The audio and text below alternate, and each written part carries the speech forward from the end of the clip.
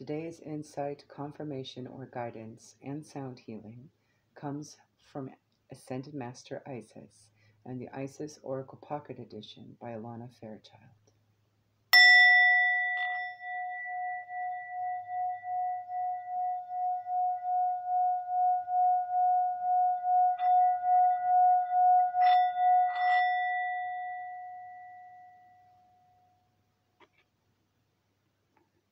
The Temple of Carnelian.